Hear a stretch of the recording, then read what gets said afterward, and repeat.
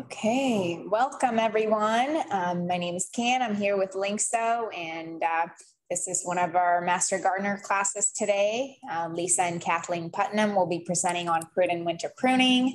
Um, so without further ado, I'm going to turn it over to them and we'll get this class started right away. And as always, um, the recording will be found on our website and I'll also email everyone the recording as well, um, probably by end of today or tomorrow. So uh, look forward to that in your emails. Um, and I'll turn it over to Lisa and Kathleen. Kathleen, sorry. All right. I'm just going to do a, a, super quick introduction of Kathleen. I'm Lisa, her sister.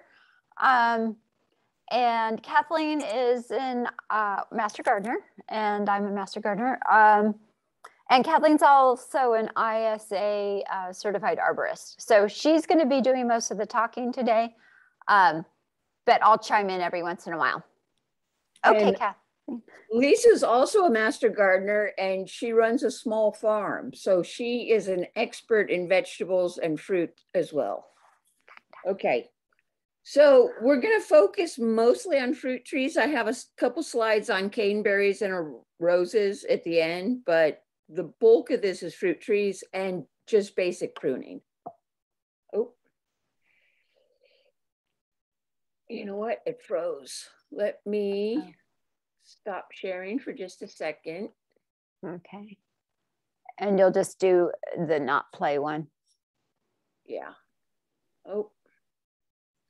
Do you want me to share my screen, Kathleen? No, it'll work. Hold on just a sec. Okay. Hi, everybody. Hi, thank everybody. You, thank you for coming. okay, I just have to hit play. Okay. Okay, there we go. Okay. So pruning is both an art and a science. It takes practice, experience, and learning. Kathleen, I'm so good. sorry, uh, but I don't think the PowerPoint's showing on our side here. Oh, showing on mine. did you did you hit screen share screen?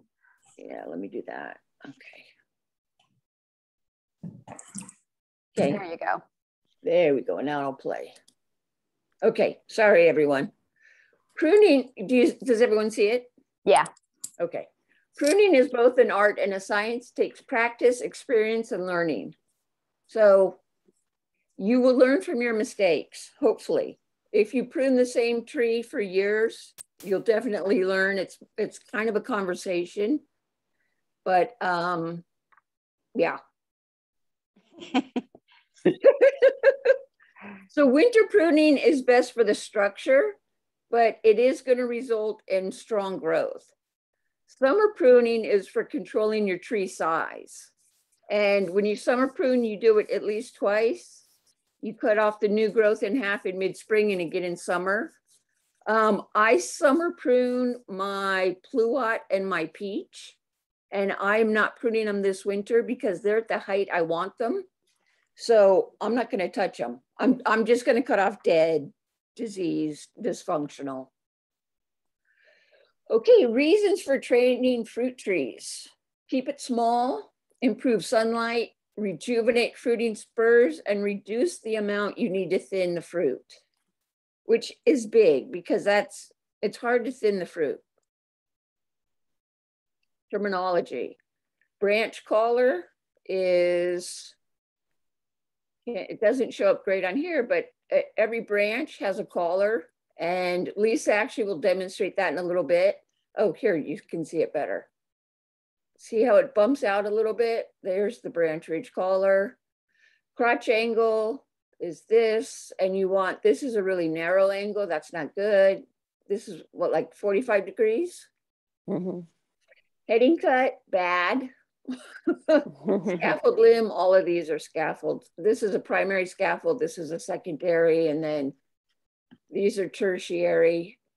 Um, I think that, oh, water sprout. People always want to know about water sprouts. Water sprouts are, they come, they go straight up off a limb. And depending on your tree and what you're doing, a lot of pruning books say cut off water sprouts. I don't necessarily, and we'll get into that. Open center. This is what most fruit trees are pruned as. Um, apples and pears, you can do a central leader, but if you have stone fruit, you're gonna definitely do it open center. And you get better fruit production, better fruit, um, because you have better sunlight. Think of your tree as a martini glass with the sun coming in the middle and all the sides, as opposed to a central leader, which is like a Christmas tree where you have one, one main branch that goes from the base all the way up to the top and branches coming off of that. That's a central leader. Um, in open center, you get much better sunlight.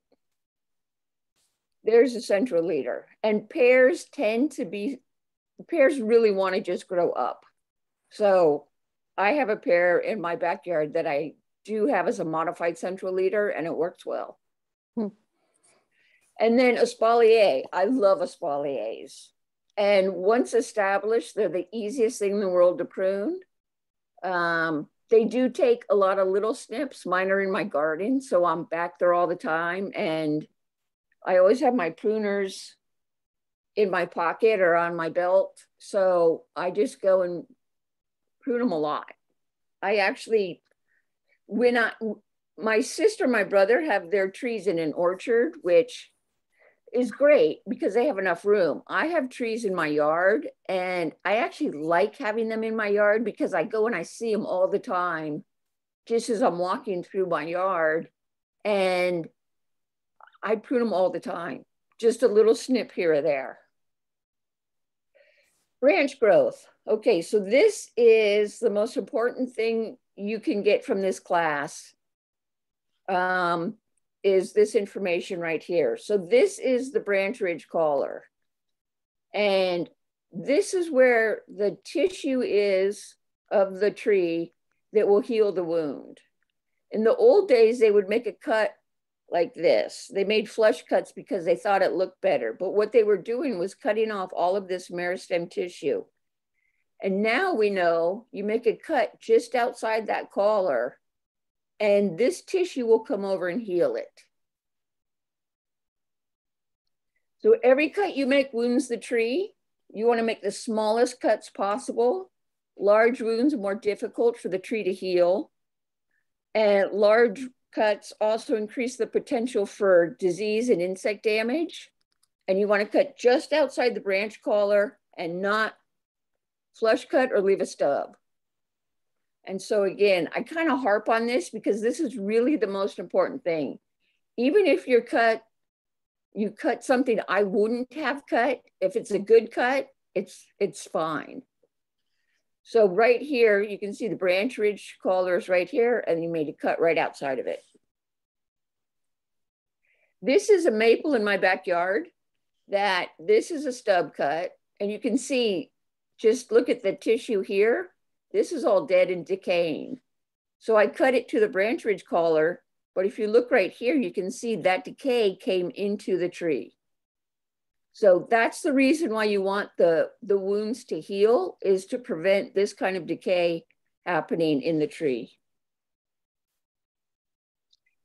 So if you're making a large cut, um, if you don't do this undercut, you can get a tear out which the the bark and a little bit of the wood will make this huge wound all down here, which you can't fix. Um, so you want to cut off the the weight of the branch so that it doesn't tear out. And proper cuts heal. This one's in the process of healing. This one's healed. Lisa and I like to call these sphincters because it, they, look um, like, they look like a sphincter. It kind of does. It looks like the back of my dog's end. but you know you've made a good cut if you have a good sphincter. Yeah, that's a beautiful sphincter. my God, that's gorgeous. so these are stub cuts, and it, you can't see it as well because it's it's head on, but this is a flush cut. They've cut off all the important tissue, and that wound will never heal. Neither will this. It will be like my maple. It will decay all the way out here, and the rot will go into the tree. This is across the street from me. I hate looking at this tree, but um, it's nothing but stubs. I mean, there's not a single good cut on this entire tree. And they wanted their arborist to come prune my tree. and I told them no. so types of cuts. There's heading cuts, which you just cut. And then there's thinning cuts where you cut off a, a, branch. You go back to the branch ridge collar and you take off the branch. And when you do heading cuts, there's a lot of dormant buds right in here. And when you cut off the tip, the hormones that are keeping those buds dormant are then gone. And you get this, this witch's broom, just this crazy growth of all those dormant buds start expressing themselves. Lisa, you want to demonstrate now? Uh, sure, yeah. Let me, uh, let me get a nice branch here. Okay. I'll just stop sharing and you Okay.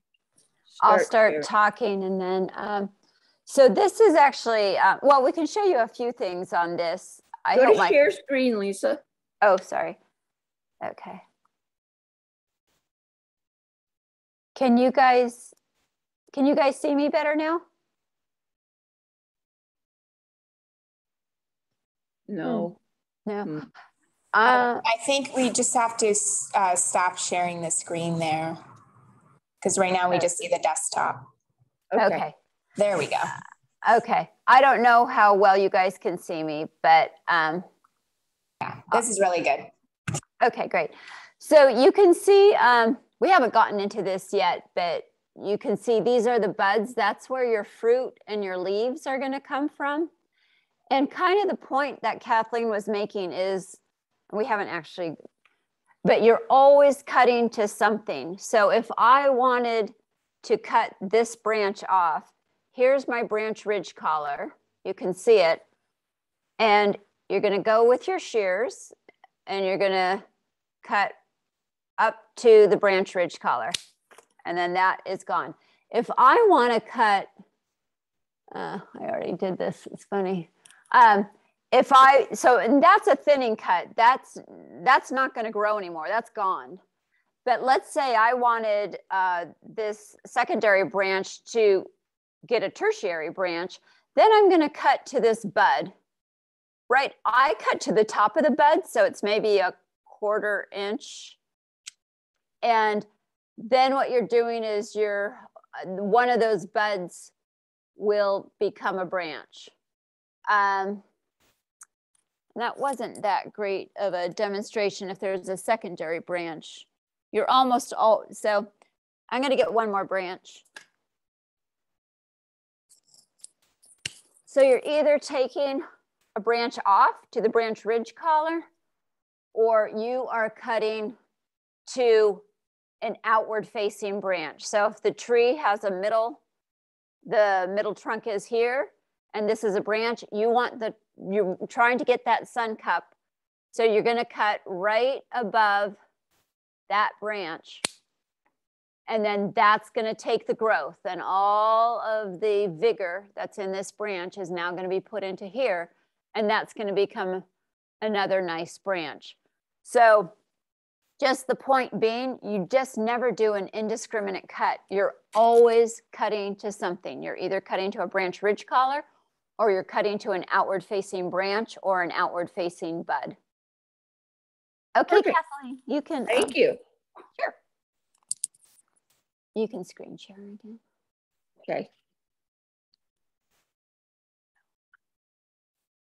And play. There we are. Okay, so that's the heading cuts and the thinning cuts. I don't know how to put videos in, so I just had Lisa do it. So a heading cut, you move the top part of a branch and you get, so they made a cut here and they got all this growth. And they made a cut right here and they got all this growth. This is when they first planted it and you actually want this growth. But a heading cut on an established plant, unless it's a hedge, you really don't want to do heading cuts because you get this witch's broom. Um, heading cuts are generally ugly. This was in the Central Valley. Lisa and I were on the way to Yosemite and I made her stop so I could take some pictures. And what they do, what the growers do is they have these tractors with these giant, big, huge round blades. And they just go down the rows of the trees and they just cut them all to the same height. And, you know, for them, the health of the tree is not paramount. Um, the cost of pruning is what makes them decide to do this. This tree has been pollarded, and I, I just put in this picture because I get this question a lot about heading cuts. This is different. You see this in San Francisco in uh, Golden Gate Park between the two museums. There's a bunch of sycamores that have been pollarded, also downtown um, by the Civic Center, a bunch of trees have been pollarded. But um, so this spring, you're going to get a bunch of branches growing out of this tree, but next winter, they cut them back to the knuckle on the branch ridge collar. So pollarding is totally different than doing heading cuts. Just an FYI. I really hate heading cuts. okay, thinning cuts. You just, like Lisa showed, you just remove the branch. It's just that simple. You go the branch ridge collar and you cut it off. And, you know, what to cut is if it's growing in the middle of the tree, you're going to want to cut it off. But other than that, it's kind of a personal choice and aesthetic. And as counterintuitive as it seems, the more you want a branch to grow, the harder you cut it back. Um, the tree responds to being cut back hard, and by hard, I mean you take a lot off by growing more. So if you, like I said, I'm not going to prune my peach and my pluot this winter because they're at the size I want them. If I prune them, they would grow. If I don't prune them, they're going to grow very little. So if you want a, a large growth response, you're going to cut them back more. And this comes into play mostly when you get like a three in one or a four in one. And always there is a, one of those branches is not going to be as vigorous as the other. Or one will be super vigorous and the others will be kind of okay. So your instinct is to cut that super vigorous one back in the winter because it's bigger than the others. But the opposite is actually true. If you have a super vigorous branch that you don't want to grow more, you prune it very little. The less vigorous branches that you want to grow more, you prune back more. So if you prune back 25 to 50%, you get about a foot of growth. This is on young trees. And uh, a really heavy cut, 50%, you'll get a really big growth response. And it is counterintuitive, but it's true. So tools to use. I use bypass pruner, meaning um, this is the anvil plate and the, the blade passes by it, just like a pair of scissors. I have my bucket right here. I also use saws if I need to. There's my saw which my saws are silkies, but whichever you want. Um, and never use on a living tree an anvil pruner, which just crushes the, the branch. It's fine for dead. I, I, I actually, I don't see the point of having an anvil pruner. And don't use loppers because the blade is too big. You can't make a good cut with it. And never use pruning sealers you're actually sealing in moisture and you're inhibiting the tree from, from healing itself. So what to consider before making a cut? I and I ask these questions in my mind as I'm cutting, and it's just kind of instinct now, but when you first start doing this, you should consciously ask yourself, why am I cutting here? What am I cutting to? Can I make a good cut? and how will the tree react to this cut? And be warned, plums will probably not react the way you think they will. Okay, bud types. The bud is what produces your fruit. It's, it's the flower, they, you know, the flower forms, it gets pollinated and it makes fruit. Um, that's your flowering buds. And then you have vegetative buds. And like on that branch Lisa held up, the vegetative buds are close to the branch. They don't stick out. The fruiting buds stick out some. Um, I'm just, you guys will get this presentation. So I'm just gonna scroll through these, but this tells you where the fruit is on the tree, um, the amount of pruning, the training system. So it's this, this is really good information, but we don't need to go through it. Okay.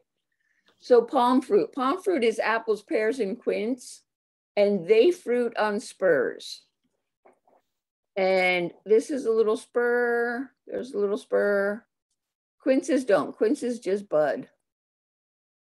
This is a mature fruiting bud, and they're really kind of cool to see, but you can see all of this is all going to be fruit, lots of fruit.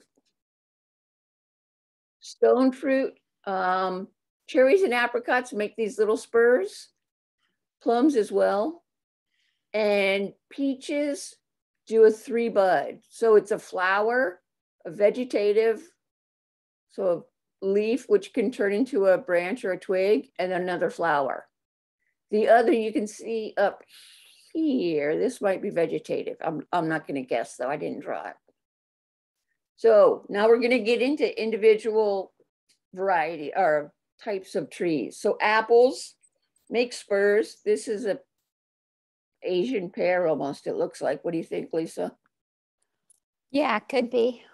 Yeah. And this is an apple, and these are spurs. They're they're um, really wrinkly, and at the tip is where the fruit, where the flower is. You can see it's really wrinkly. And the spurs are good for six to 10 years. I think on pears, 10 years as well. You're going to prune for structure, thin out older spurs, um, like that last slide. This slide, some of these I would I would prune out. This is more than the tree could handle. If every one of these little flowers makes fruit, it's way more than the tree can handle. So How I would rather than having to thin it, I would probably prune out like this guy, maybe this guy, but I would prune out some of that. Oops. How do you know if a spur is old or not? Um, it starts to get brown and looks like it's dying. Okay. And on that last slide, when you said I'd prune out this and I'd prune out that, I mean, but then that's never going to fruit again. I mean, after you prune that spur off. Correct. Although that spur will continue to grow. All right. But yeah, I mean, you never want that much spur flowering on that because you know it's kind of like permanent fruit thinning. Yeah, yeah. Um, and pears are very oh, and you're going to want to be careful about the end weight with apples and pears. If you have a lot of spurs out on the end of a branch, it the branch can get too heavy and it can rip out. And we'll say that for a few of these trees. Um,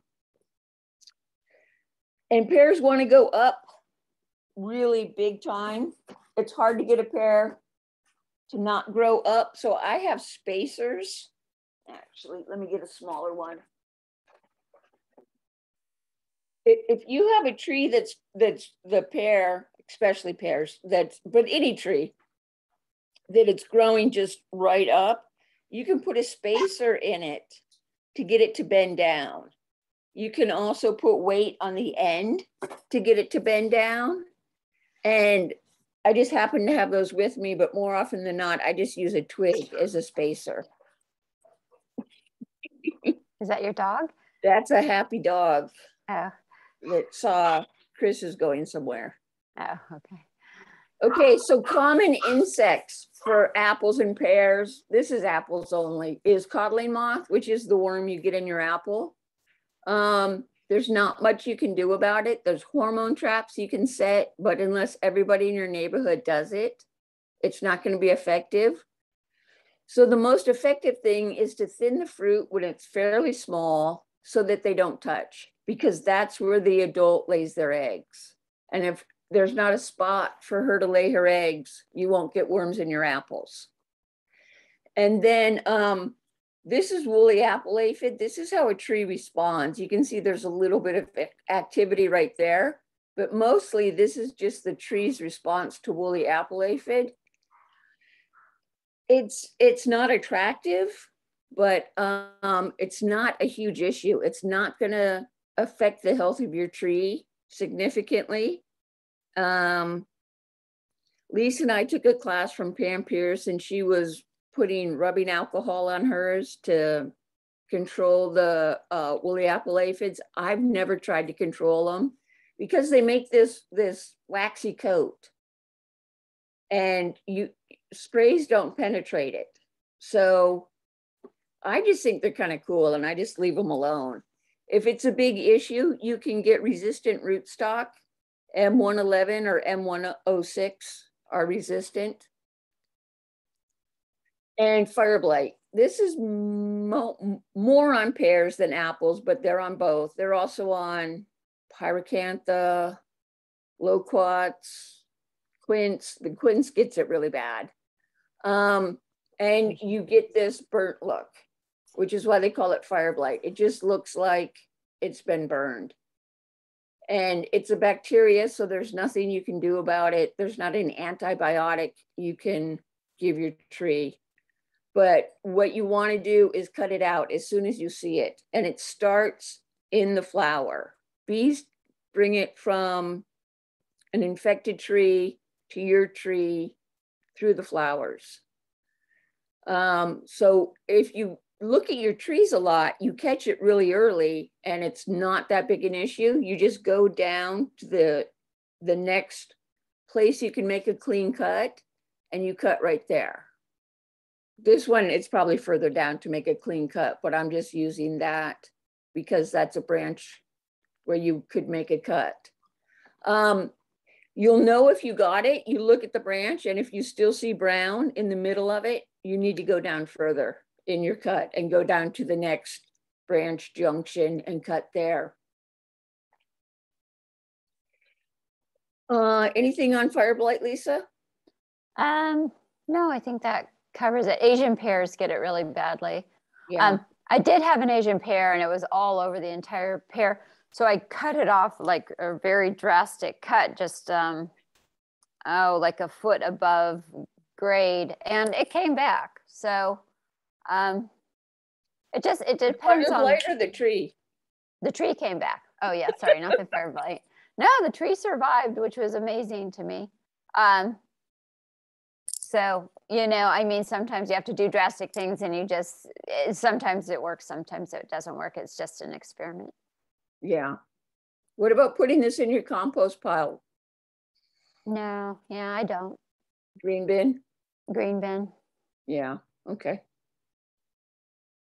There are some varieties that are more resistant than others.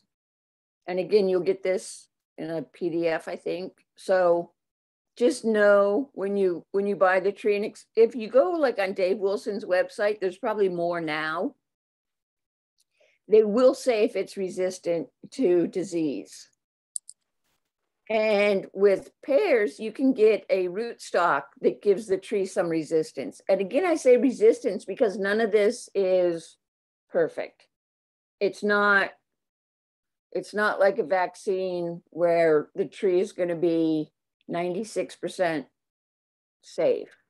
It, um, you know, if, if, if you have a lot of fire blight in your neighborhood, and it can be on ornamentals that then come into your yard, or if your tree is not healthy, but even healthy trees get it, so never mind that. If you have a lot of fire blight in your neighborhood, you're probably gonna get it. It You see it a lot on ornamental pears, so that's where it starts. Prune apricots and cherries in August. They get a disease called eutypa. And this is what it starts out looking like, and this is what it ends up looking like. And you get this gummosis or this sap seeping. And I believe it is well, let's see. No, do I have it? I think it's a bacterium. No, I think it's a fungus because it's water. Anyway, if you want to prune your apricots and your cherries and then have six weeks of dry weather. So, I mean, last winter you could have pruned in the winter, but we didn't know that. You don't know what the weather's going to be six weeks out. Um, so I, I just prune my apricots and my cherries in summer and pluots, any cherry derivative, which they now have tons of, or sorry, oh, it's a any apricot um, that's a parent, like my pluot, also gets this, yeah. which I didn't know. And I did an experiment and now I know that it gets it because my pluot now has it. Oh no. Yeah, it is a fungus. Uh, you're right. It's a fungus from the family Diatrypaceae. Oh, well, that makes it clear. Yep. um, so just prune your apricots and your cherries in summer, and plums, I think. But so apricots, you don't need to worry so much about end weight because the fruit's not so big. But you do want to prune new shoots back two thirds and thin new shoots by one third just for fruit thinning. And this is well spaced. I think this has probably been thin because that's pretty well spaced fruit. And this is what the, the fruiting spurs look like. This is where, so you can see there's a flower, there's a flower, there's a flower. You're gonna have too much fruit right there. So you will need to thin your fruit. Um, and cherries, have these little spurs. Cherries, um, I'd love to eat cherries, but cherry trees in our area don't do great. I don't know if they're worth planting personally. Yeah. I mean, and some people in the area do have, uh, when we say areas, mid peninsula, um, but I know somebody with a cherry tree in Atherton, and it's amazing. You know, it's 20 to 30 feet tall, 20 to 30 feet wide, covered with cherries every year. But it was probably planted a long, long time ago. But I've planted several cherries and well, I get a little crop, but usually the birds get it before I get it. Yeah. And they're pretty hard to to tent, yeah. to put netting on. Yeah. Yeah. And and they get so many diseases. But cherries, you know, you have spurs for two to 12, for, I'm sorry, 10 to 12 years, thin out interfering branches and remove dead and diseased. Yeah. And they're pretty. I mean, I will say that. Yeah, they are. They're beautiful. The reason I put this in is I was, um, I was taking care of some of my brother's fruit trees for a while and his cherries, this cherries just get covered in aphids. And then the leaves curl up and people think that they have peach leaf curl, but it's a cherry, so they don't. But um, so I went out there and I sprayed with neem oil and I saw this little bug and I was like, yeah, I'm killing two bugs. This is so great. And I went to look up what this bug was that I had just killed and found out it was there eating the aphids. So So he's a soldier beetle. he's a soldier beetle and he was there eating the aphid. So before you spray for aphids, just look around and see if nature's helping you out. And if it is, maybe take a step back and let nature do her job. Yeah, and you guys probably already know this, but um, like the um, the ladybug, the larval stage of the ladybug, it looks like a teeny tiny alligator. Yeah, um, very ugly. Yeah, they're ugly, but um, those they eat like a thousand aphids a day um, so they're very, very effective for aphid control. However, don't go and buy ladybugs. Um, for one thing, ladybugs don't eat very many aphids compared to their larval stage. And they just go and they mine them in the Sierra foothills. They're not hatching them in hatcheries or something like that. They're just going and taking them uh, from the Sierra foothills. And then the uh, farmers in the Central Valley are having problems because they keep taking all the ladybugs from the uh, Sierra foothills, which would normally be uh, Central Valley. And when you buy ladybugs, they eat maybe a little bit of your aphids and they fly away because you don't have enough aphids for the population in that container. So it's it's just not good. Don't do it. And if enough people quit doing it, they'll quit going and selling them in nurseries because they'll die. They won't be good. Okay, plums. Um, depending on the plum, if you have like a French plum, you don't really need to worry about the end weight. Uh, but the spurs are good five to 10 years, thin lightly for structure. You don't want to prune a plum really hard because they respond in odd ways. Um, this says remove water sprouts uh, and suckers at base. I always remove suckers. Suckers are your rootstock. They're not your actual tree. But water sprouts, especially if you have pears and apples, I generally leave the water sprouts because if you get fire blight, you might need to cut back to that water sprout. And those water sprouts will one day become fruit bearing branches.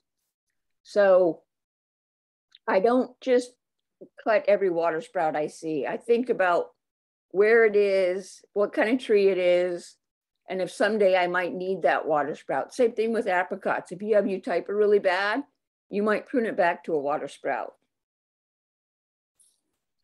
Peaches and nectarines, they bear on last year's wood and they have this three bud like Lisa was showing you.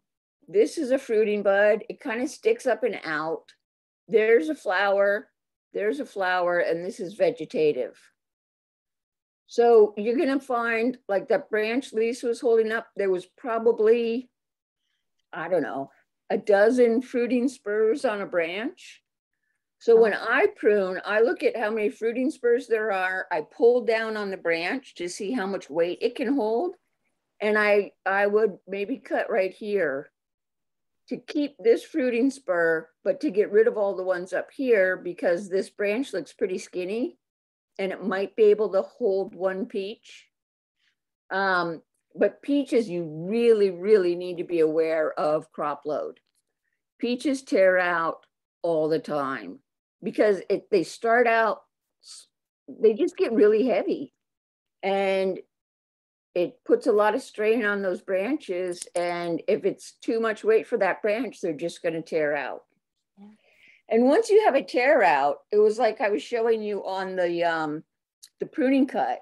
Once you have a tear out, you have a wound that, you know, if this was a big branch and it tears out, you're going to have a huge wound all down along there. And there's nothing you can do about it because it, it goes down into the main trunk and it's bad.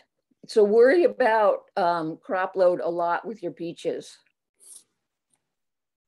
peach leaf curl, they say you should spray um, at least once a year, twice if we have a wet winter.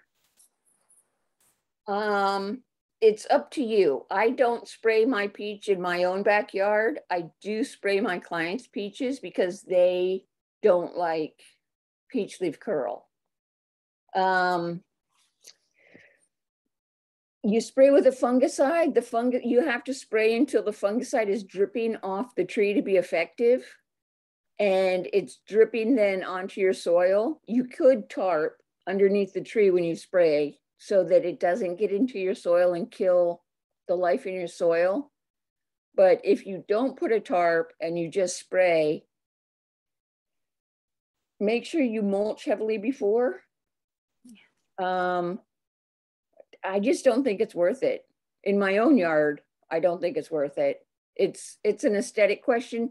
It will shorten the life of your tree a, probably a couple years because you get the you get these distorted leaves and peaches and nectarines are the only thing that get this. If you see distorted leaves on any other tree, it's not peach leaf curl, look for an insect. But um, you get these distorted leaves and then they fall off and the tree refoliates. So I just live with it. The, the, leaves fall off, I clean them up, put them in the green bin, and life goes on. If this really offends you, you can spray with a fungicide. Um, do it after the all the leaves fall off your tree. And if it's a really wet winter, do it again around the Super Bowl is when they say, but you'll see the buds starting to swell. That's when you should do it. Um, anything on this, Lisa? Um, no, I, I do the same thing you do. I just wait for them to all fall off and then it refoliates. Uh, and I didn't have this past year. I had very little peach leaf curl.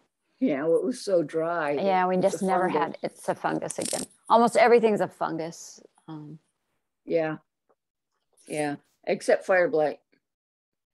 And fire blight, since it is a bacteria, if if somebody comes by and tells you they can spray your trees for fire blight, don't hire them. they can't. Okay, thinning the fruit.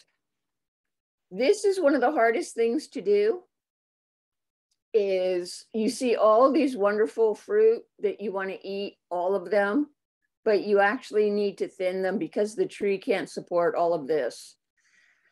And so you take off probably 75%. Yeah. Uh, this I would, no, this is actually pretty good. Maybe it, it depends on how big these are going to get. Yeah. Um, I, yeah. Go ahead. I used to take off 50% of my fruit when it was kind of the size of my baby fingernail uh, or a little bit bigger. Um, and that's just not enough. So now I, I take off 50% when it's pretty little, but then I go through and I take off another 50% um, when it gets bigger. And I'm happy I do. I mean, my peach trees are three years old. Uh, this was the first year that I let them completely fruit. And I had I had more peaches than you knew what to do with, you know, and that's after two thinnings. And I probably still had several hundred peaches at least. Yeah, and then they're nice big peaches. Yeah, instead of little tiny peaches. I, uh, I will say I I thinned the pluots when they were itty bitty tiny, like just starting to look like a fruit. Yeah. And I shouldn't have. They have a drop. Oh. And I I thought oh, I'm going to get a jump on this before they get too big. So you want to wait until they're at least the size of your pinky fingernail or even a little bit bigger before you start thinning. And um because like apples have a drop, pears have a drop and when I say drop, the fruit drops the the tree, sorry, drops some of the fruit itself. It knows it can't support that much fruit, so it drops it. Um, so just be aware that when it's really small, I think peaches don't have a drop, so you could thin a peach. Yeah.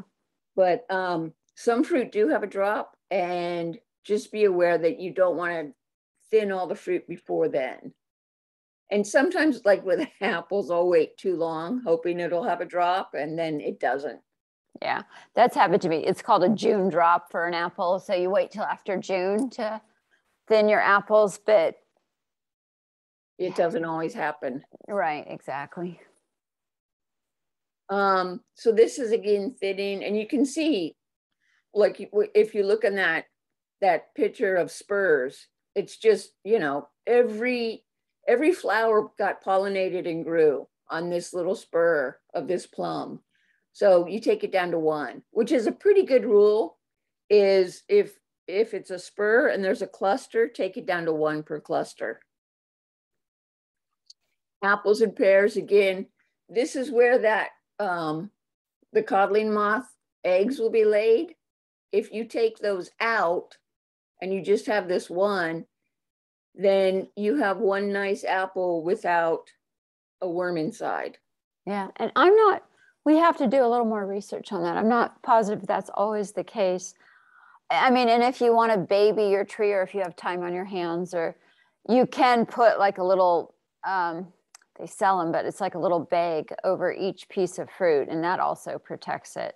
Um, you know, I guess if you just had one apple tree with I don't know. I mean, I, I couldn't ever see myself doing it, but uh, if you wanted just 25 apples and you bought 25 of those bags and tied them on, I guess you could do that. Some people do, uh, you know, it just depends on yeah. your tolerance. Yeah. Although it won't color up as nicely if it doesn't get sunshine. Yeah, I think they're they make them with different, you know, like so the sun still exactly. Yeah, yeah. Like you could put a nylons on them or something. I don't know. Yeah. Anyway, it just I just thin the fruit. Yeah. And that's pretty good. And you know, if you get a worm in your apple, it's not the end of the world. Yeah. It's just a little protein there in your carbohydrate. Yeah. Yeah. Kind of good for you, probably. Yeah. Okay, blackberries. So you don't prune blackberries at all the first year, but after the first year, you're going to prune them twice a year. The first pruning in the winter, and you're going to prune out the lower side branches that are below your wire. So blackberries, you want to grow them on a trellis, and you want your trellis to start at about what two and a half feet, Lisa? Where's your lowest wire? Oh, it's no, it's closer to the ground than that, I would think. Two feet? Yeah, probably two feet. Yeah. Okay. So any any lower side branches that are below two feet, you're going to take out. And then the laterals at the top of the trellis, you're going to cut them back by a foot. Yeah. I'll just say one little note here. Do some research when you're buying your blackberries or any berry, any caneberry. Um, I have a raspberry that I'm really happy with, and it has a nice growing pattern. I have a blackberry that it just wants to go along the ground like a ground cover. And as much as I try to get that up onto the trellis, it takes me an incredible amount of time. And it's just its growing habit. It, it wants to be a ground cover instead of a caneberry. And I'm actually going to take it out. I just, I don't, you know, anyway, I just don't have the time and energy to.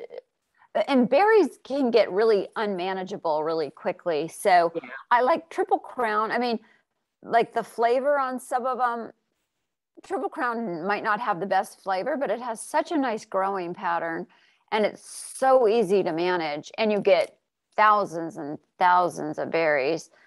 I mean, I kind of would rather have that than one I'm just struggling with to make it into a caneberry when it wants to be a ground cover.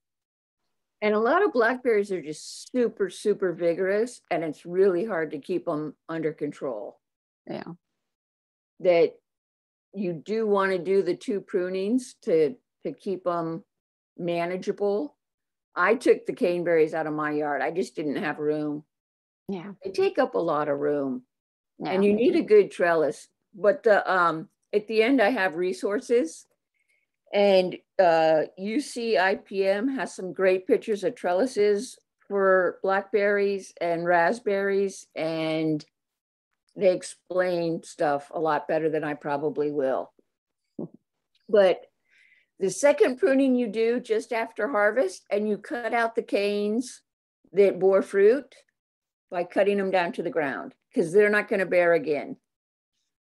And then raspberries, um, prune out spent fruiting canes, they'll dry up. I mean, it's it's pretty obvious on a raspberry what's a spent fruiting cane, it dries up and gets brown.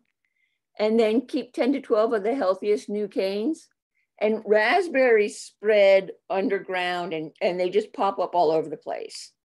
And just to keep it in control, you just like here, you know, if you had raspberries growing up over here, you're going to want to cut those off. And you just keep this nice bunch of them and you just put them up the trellis. And that's the best way to keep raspberries under control and get nice fruit. Because if you have too much, then your fruit's not as good. It's like thinning fruit on fruit trees. But with caneberries, you thin the fruit by thinning the canes. Yeah. And roses. So I went to um, UCIPM and they they when you click on one of the plants, types of plant, you get to its page and it lists all the all the diseases and insects that they have. And most of them have, you know, maybe a dozen, probably not even that many. Roses, it's like three pages. I mean, I love roses. I have roses in my backyard, but roses have a lot of issues. I mean, it's good thing they're so beautiful and they smell good. Nobody would grow them. but roses are kind of like fruit trees in miniature. You want that same sun cup, you just don't have the stem. So it's like a little martini glass right there on the ground. But, and I see so many roses pruned badly. All the principles apply to roses as it does to fruit trees. You want to make a good cut at the branch ridge collar. It's easy to see, it's easy to do. Uh, Lisa and I went to a fruit pruning at UC Davis God, years ago. And we went up with the, an amazing arborist, and he was complaining that they were making bad cuts, and it doesn't take any longer to make a good cut. Which is so true. I mean, it might take you a second longer to make a good cut versus a bad cut, but for some reason, people think roses don't need to be pruned the same way fruit trees do. And I just see so many bad cuts. It's amazing. So make a good cut on your roses, cut to the branch ridge collar. And, you know, you do that for the first couple years and you establish a nice structure. And then it's just super easy to prune them from there on out. Yeah. And also it, to the branch ridge collar, if, if you are thinning them, if not, if you're just deadheading, which isn't pruning, um, but you, you're gonna, the same principle applies no matter what, and that's cutting to an outward facing branch, an outward facing leaf.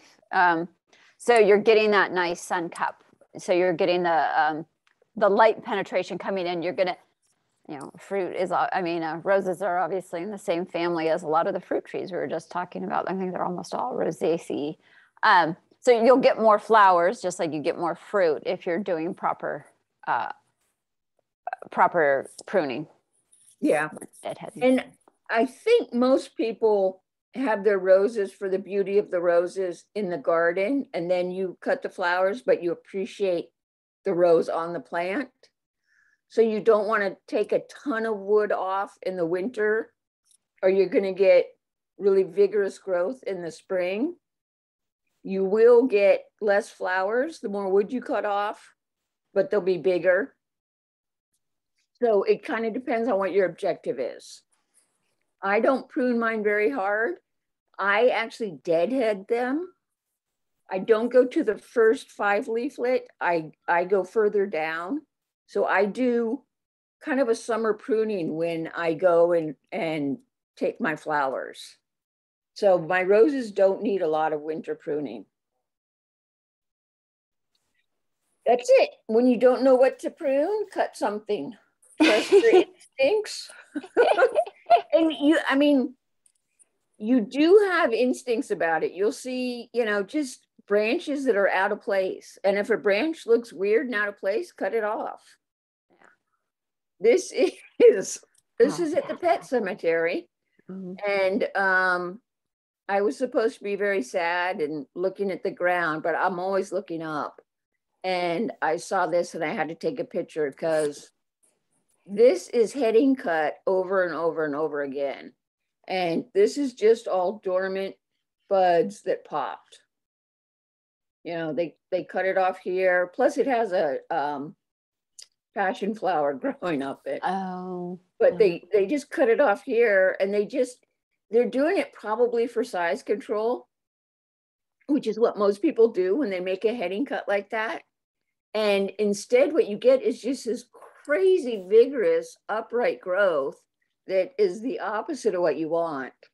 So don't do heading cuts. Have fun. that that's our brother Kent and his dog Jacko. Jacko, and we were told to not let him dig, which clearly we disregarded our instructions that day. he was a happy dog though. Okay, there's a whole bunch of references. And some of my favorite websites for fruit tree information. And the UCIPM is excellent. So's the um, UCANR, if you want to get some books. Those growers are all really good and they have information beyond just what trees to buy. And if you have questions, ask the master gardeners. And thank you, Lyngso. Yeah. And then I think, um, Can, you're going to give us some questions from the chat. Yep, I've got I've got quite a few questions here. So we'll start with actually. Um, uh, I'll go back and just read the questions to you folks. Um, so here's one. So this one kind of asks if you already cut too much by cutting too much of the collar, is there anything that they could do to help the tree? Mm. Uh, so you cut the meristem tissue off. It sounds like from the question. Yeah.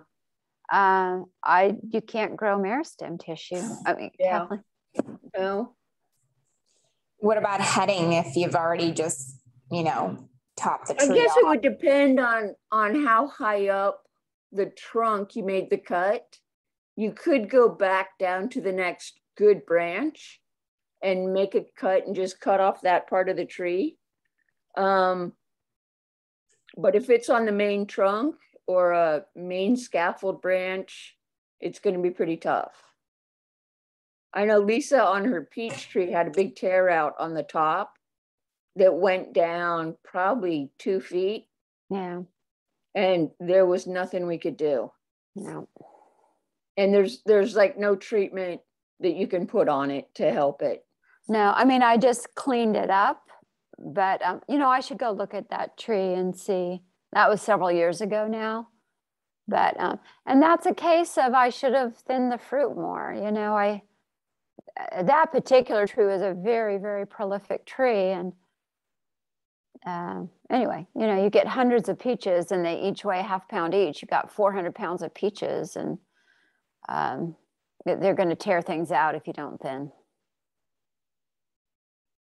Okay, next question. Okay. All right, so next one is last week, November 29th, my two and three-year-old dwarf apple trees bloomed South Santa Clara County, south facing slope, 2,300 eleva elevation. Yeah. So much older, full-size apple tree is not blooming. Uh, any suggestions and will it not bloom next spring? My pear tree bloomed as well down in Santa Cruz. Um, you know, you could take the blooms off. If if it's a big tree, well, it sounds like it's a small tree. I I would probably take the blooms off and hope that it blooms again. But there's nothing you can do. I mean, this this warm weather we had just really messed up our plants. Yeah, it's a, it's a weird. I was just out hiking and uh, just in nature, and I noticed the wild plums are blooming already, which is unusual. Um, but I think, and Kathleen, I just I didn't realize this. Kathleen just told me about. Um, we've only had. I'm in um, Woodside, Portola Valley area, and we've had three nights with frost. Usually, our first frost is about October 15th. This one, it was late November. And then we went into really warm weather. It was last week, a couple weeks ago. And uh, we went into weather where it was 72 to 78 every day. And then that reversed all of those chill hours. So um, it's just harder and harder to get chill hours. Um, so I know Kathleen, when she's planting orchards out, she's now looking for trees which are two to 300 chill hours instead of five to 600 chill hours. And chill hours is temperature between 32 and 45. And tree fruit trees, other trees as well, need so many hours in that in that range before they break bud. Um, I had a client who planted some um, northern high bush blueberries, which have like a thousand chill hour requirement, which we'll never we're never going to get that. She, you don't want to plant northern high bush blueberries, but her her other blueberries that were southern high bush have fewer chill hours and they broke bud in spring and they were doing great. And her other blueberries were not leafed out in july and she wanted to know what i had done wrong. And i didn't plant them thank goodness. Well i wouldn't have planted them but um, when we found out what they were, I told her, you know, these are never going to be successful here because you're never going to get the amount of chill hours they require to break bud in spring and start growing. And, you know, Santa Clara Valley probably used to have 800 chill hours, but because it's all now buildings and freeways and, you know, things that, that stay warm during the night, our chill hours are going down and down. So yeah, that's a problem. Okay. All right. So the next question is, um, well, it's really an explanation of why we should not be using loppers for pruning. Oh, good. I guess they, they want, so if you can just. uh, the explanation I think is from us, it's because the blade is too thick. Um, you, you can't, yeah, you can't get this up against the branch ridge collar because it's too thick. So that's why a hand pruner. And then could you also talk about the spacers, the use of spacers? Oh. Yeah, let me get. Or Kathleen, do you want to stop sharing screen, screen so you're bigger? No, I can just do it like this. So these I got from Fedco. You get a pack of them like this of different sizes. And um, there we go. Oh, there's my camera. Surprise. and so you take this this little spacer and they have little spikes on the end so they don't fall off the tree. There you go. And if you have a branch that's going really upright, you put a spacer on it and you you put it against something else and it just keeps that branch down. And you only need to do it six months or so, and then that branch is then going to be down like that for its life. Yep. That explain it? Yeah, I think that was perfect. Um, let me or you could do like my sister who doesn't like to buy things and she just takes Coke bottles or whatever, water bottles, and fills them with water and ties them on the end of the branch. I actually like spacers more because you don't get that that bow like you do with putting weight on the end of the branch. Yeah. You actually get a good crotch angle.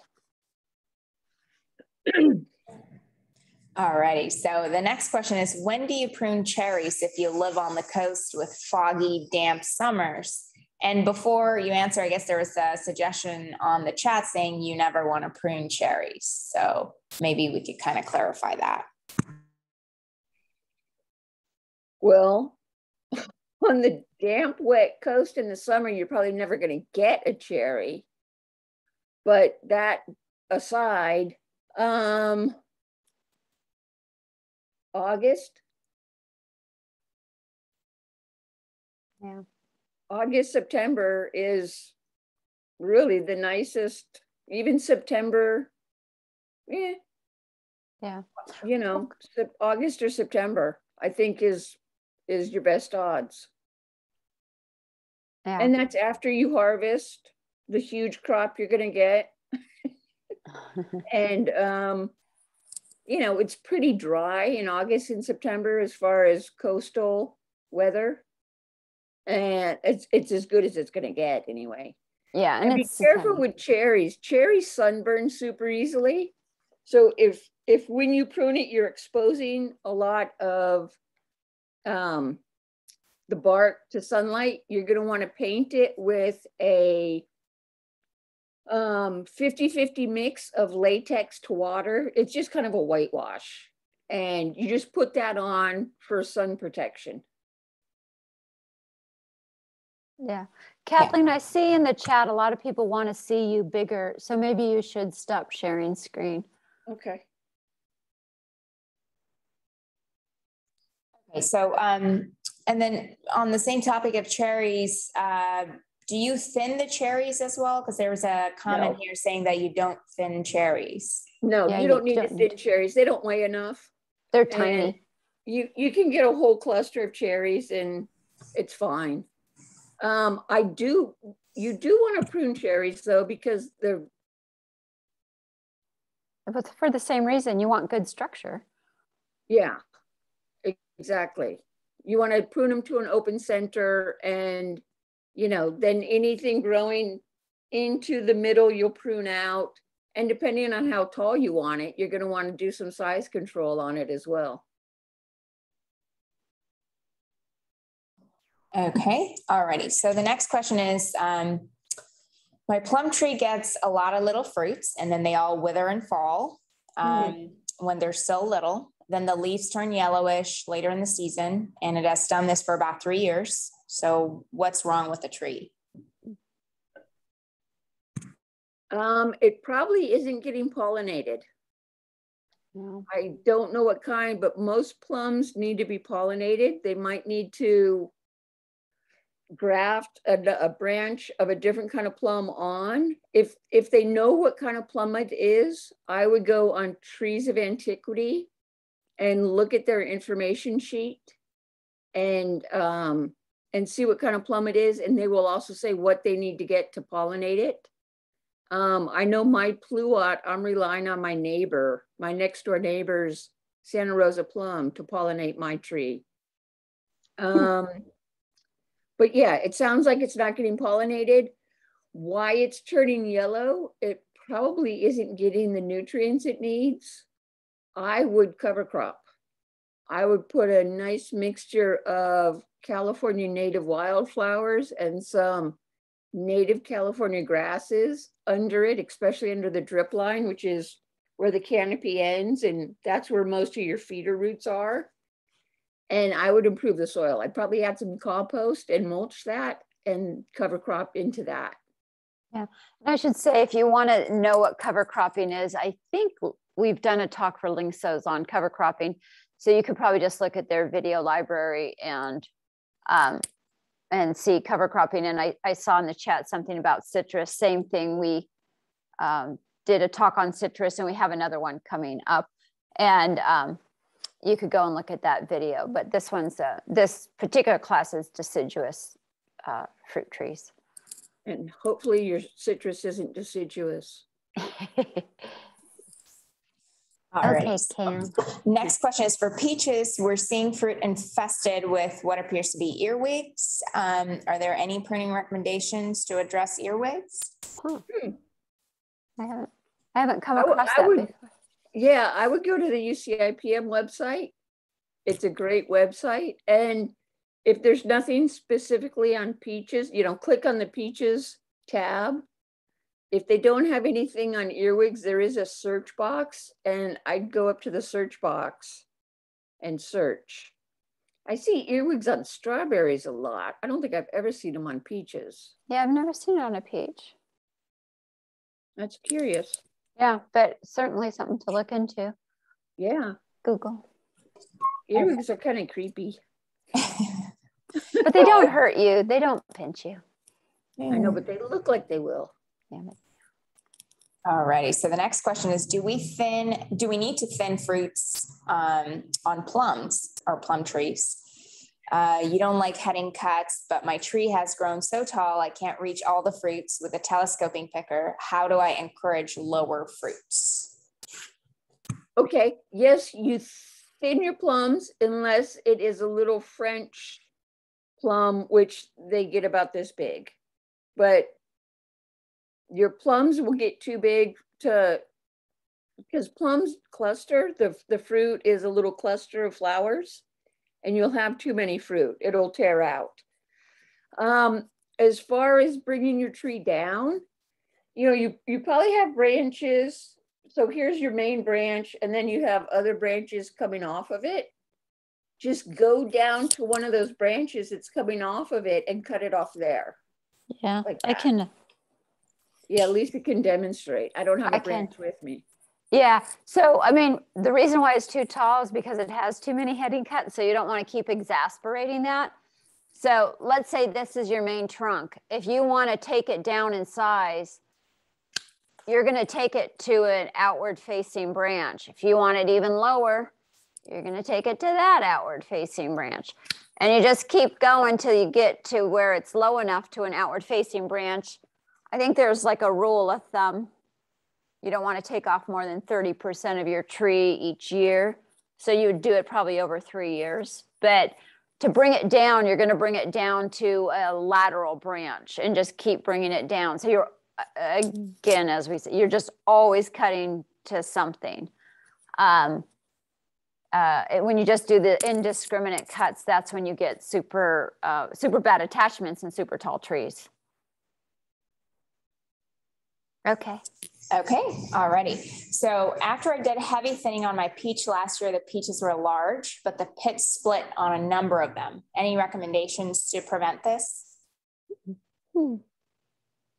It might be a water issue, but I'm not sure. I would look that up. Um, I'm not positive. Yeah, I've I've seen that before, but I yeah, I have too. But I don't know what it is either. Alrighty, so we'll move on to a different one. I know you- call the master gardeners. Yeah, call the master gardeners. They're they're required by law to look up your answers. Yeah, they go to jail if they don't. okay, um, Kathleen, you were talking about the bags. Um, someone's asking, what's the point of the bags? The nylon mesh bags, I think. Oh, it's just was talking about those to keep the uh, the codling moth from laying eggs in your apples. Yeah. So I have seen it. I've seen it in a house in Palo Alto where they went and um, put these little bags around each fruit. It does work. It's just that's it's just a heck of a lot of work. You know what our aunt did? What? She put bottles over her pears. Oh. and then the babies grew inside the bottle, and then she put alcohol in the bottle and she made like some liqueur. I don't know, but That's it kept cool. the codling moth off. Yeah, I mean it's pretty clever, right? How do you get a pear inside a bottle? I'm gonna try that. I think that's cool. Yeah. Okay, so um, speaking of thinning apples, why do you still thin apples when there's a June drop? Oh, because there's not always a June drop. Yeah, and it, it doesn't drop necessarily what you want gone. Yeah. Like in an, in any thinning, you're going to thin heavier on the on the outside. And if you have like three peaches along the main trunk, that's fine. The main trunk can hold three peaches. But if you have three peaches on the very tip of a of a little branch, or three apples on the very tip of a little branch, that's going to break out. And June drop is not necessarily going to drop those three. Yeah. It's going to drop some apples, but it's not going to drop necessarily the ones you want dropped. So, I mean, the tree's not, I don't want to say the tree's not smart enough because the tree's probably smarter than I am, but the tree isn't necessarily knowing the physics of the branch. Yeah. Although it might. Oh. Okay. Um, is there a pruning book with illustrations to follow that you can rec recommend? Yeah, a little fruit tree. Um, Do you have it there? Yeah, talk for a minute, Lisa. oh, I don't have anything. I'll just tell you an interesting fact that Kathleen told me a few years ago the tree knows how many calories it's going to put out that year. So it's going to put out 10,000 calories. So why we, I know we're emphasizing thinning a lot, even though it's a pruning class. Um, so you're going to get 10,000 calories no matter what. So you can get that in 100 fruit or you can get it in 300 fruit. And that's what makes your fruit size up is um, taking it off because the calories are going to be the same. Yeah, that's a good. You should, your camera's in the middle of your screen, Kathleen. Then you need to move it away a little bit. That's a little close. There you go. A little, little more, a little more, a little more. There you this go. This is a great book. You can get this at um, UCANR. It's really good. And it has pictures and stuff. Oh, and yeah. just for general pruning, this is a really good book. The horticultural the American Horticultural Society, Pruning and Training. It's a good book too. I there's also a book, it's in my resources, called A Little Fruit Tree. And um, that's a very good book as well. It's downstairs, sorry. Okay, so what about pruning grapes? You need to know if they are cane bearing or spur bearing and go look it up. Sorry, and I'll just apologize. We used a description for this class from a few years ago, and um, really the class is meant to be on deciduous fruit trees and not caneberries, grapes, and roses, but we forgot to change the description. So uh, anyway, they ended up not getting emphasized, but uh, grapes are a little tricky in that you need to know what you have before you know how to prune. Yeah, and it's it's not hard to prune once you know what you have. You will take off a huge amount. Grapes are super vigorous and you will be amazed how much you take off and you'll think, "Oh my goodness, I can't take this all off," but you should. And the the UCIPM if you if you go to the grapes, it it has a really good description of how to do it. So do both these books actually. And if you don't know if it's if you know what fruit what kind of grape it is but you don't know if it's cane bearing or spur bearing i think sunset has a pretty good table telling you which it is yeah somebody wants you to hold up that book again is that book in your reference kathleen the home orchard um yes it is they want the home orchard or they want the pruning the american horticultural society i i love the home orchard book you're yeah, yeah there you go. Look at you. I'm a big girl now. you can put on your big girl pants. you know where your you know where your camera is. it's right there.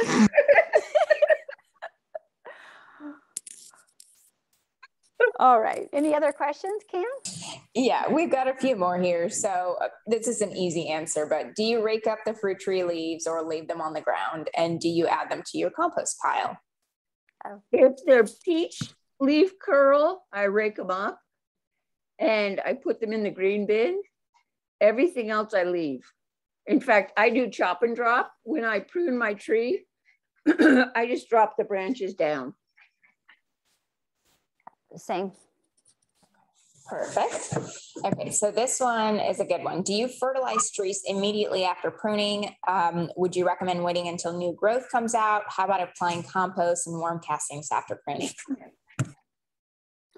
I would do it in spring. I, oh, well, I cannot Kathleen answer, but I would, if you're going to be, I don't fertilize my trees other than compost. And um, I do that in spring when it needs um, food to grow. Yeah. Okay, fantastic. Uh, do the same pruning principles apply to orange trees and Meyer lemon bushes in Southern California? Um, the as far as making a good cut on a, a branch, apply, but you don't prune citrus to be open centers.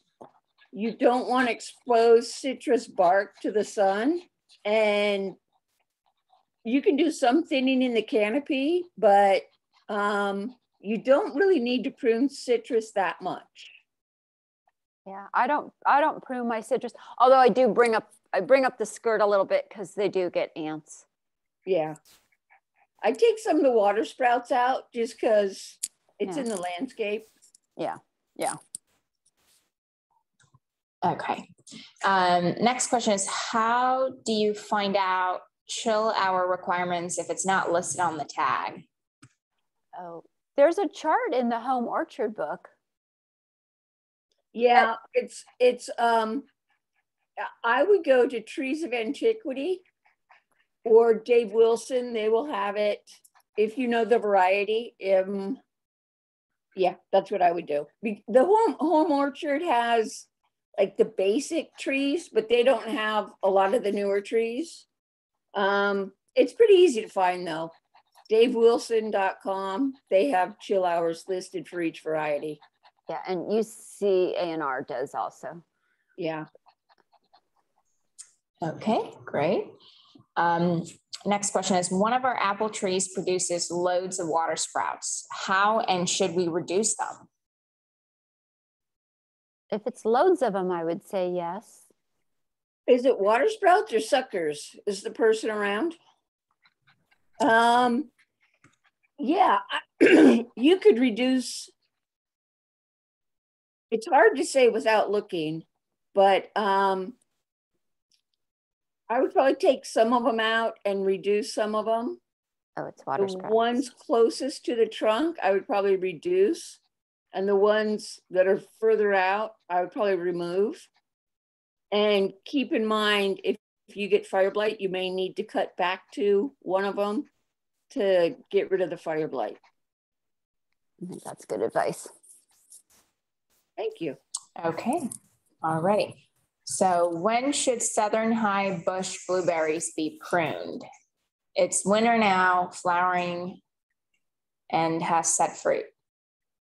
Really? Wow. Wow.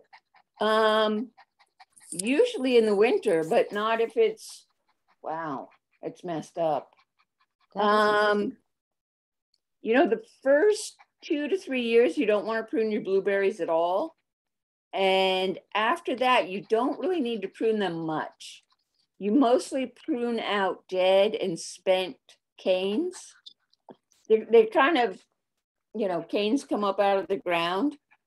Um, you want to prune out old canes and keep the new ones. But if they're still bearing fruit, I would keep them. Maybe open it up to the sun a little bit, but I wouldn't do much pruning on them. Okay, all righty. So, so the next question is about shovel prune. Uh, we prune fruit trees for fruit production. What's the sign for us to pull a fruit tree out? Should we just wait 20 years? What's the best way to pull an old fruit, fruit tree out? Cut it off at root level. Yeah, cut it off at ground level and plant right on top of it. Um, the best way to know when to cut a tree out is when there's more dead branches than live, I would say. Or when your production goes, to, if you're really doing it for fruit production, which it sounds like this person is. I mean, when your production really declines, I mean, an apple tree can live 100 years or, or longer. Um, so if you, if you're, but peaches and I mean, I'm thinking 20 to 25 years for a peach. Yeah. Yeah, and and probably a plum too. Yeah. But plums, you'll see just a ton of dead branches. That I I think when you see just a ton of dead branches, time to get a new one. Yeah. I hate to do this, everybody, but I am going to sign off and let Kathleen take the rest of the questions. I'm uh, sorry. When I set this up a long time ago, I didn't know I had a, a conflicting commitment. But thank you, everybody, for coming. Thank you, Kathleen, for carrying on. Sure. Right. Thank you, Lisa. Thank you, Lisa. All right, Kathleen. So we'll move on with the questions here. Okay. Um, so I was told that prior to pruning, we should check out what's the seasonal pests and diseases in the area, but where should I go for that info?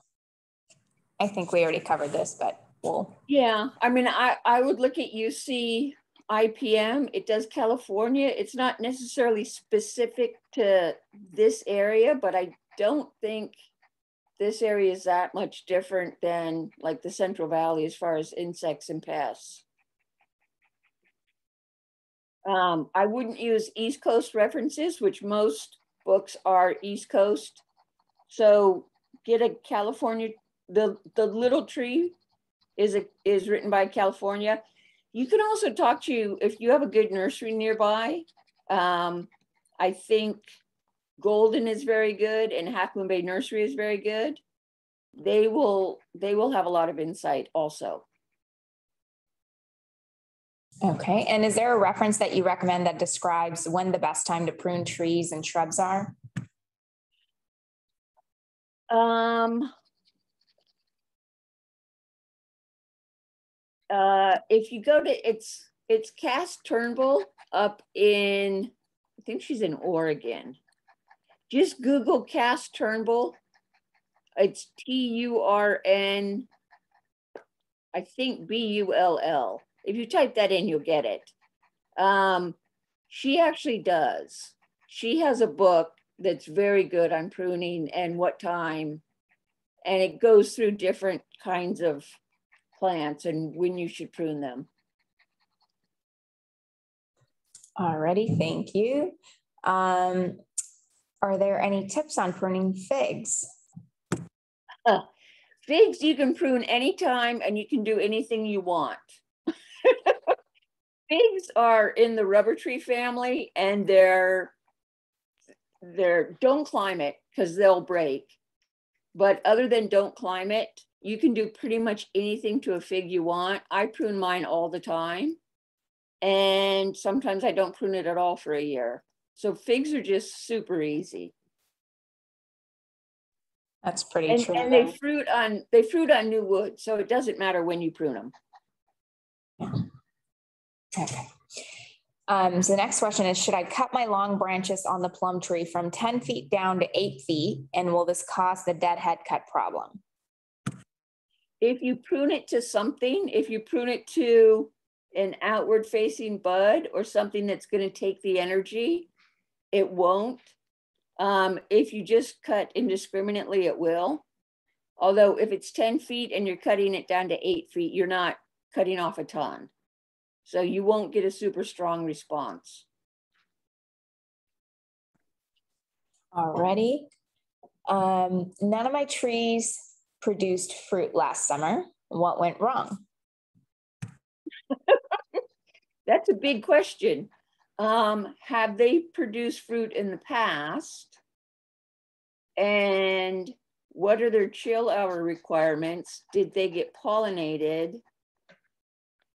And did they get watered? I mean, it's there's too many variables for me with the information given to tell you what went wrong. Um, if you want to give me more specifics, you can send Cam an email and she'll forward it to me. Yeah. I'd happy to answer that, but I can't tell you as much information as I have. Yeah, and Kathleen, you had also mentioned that young trees don't necessarily fruit right away. It yeah. takes a few years. Yeah, it does. Yeah. Okay. So then the next question is um, my tangerines are crazy producers, and I'm afraid if I don't prune, the branches will break. Is it still okay to pr- okay not to prune?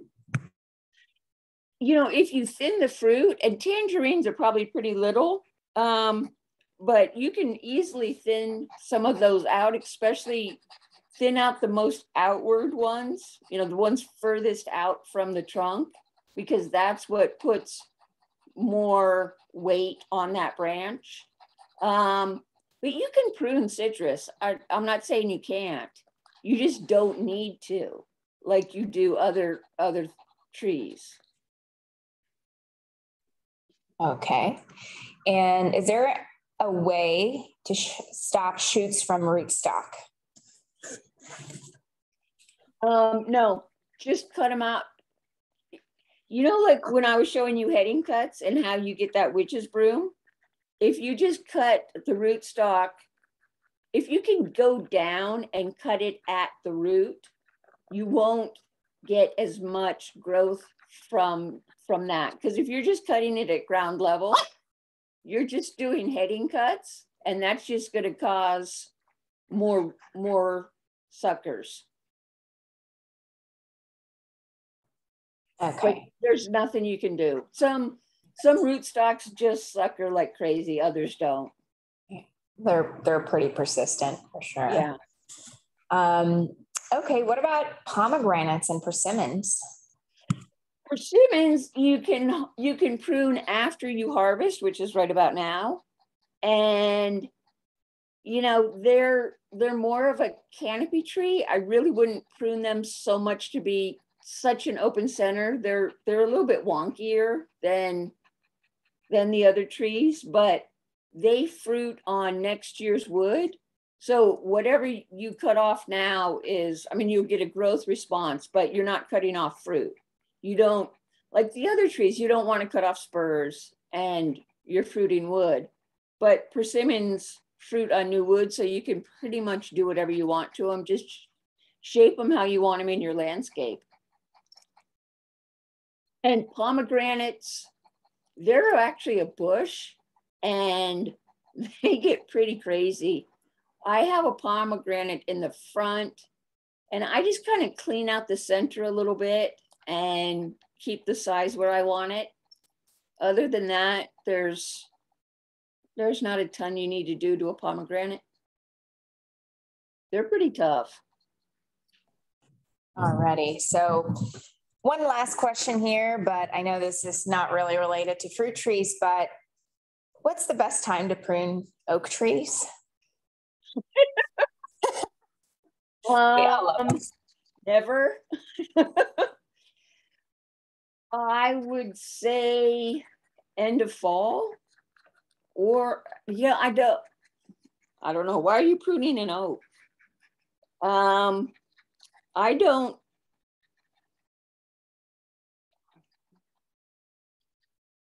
Well, I, I guess I need more information. What kind of oak is it? Is it deciduous or evergreen? If it's deciduous, you could prune it in winter. Um, if it's evergreen, I would wait until spring or fall. Um, but I would be very careful with pruning an oak that you're not damaging the tree.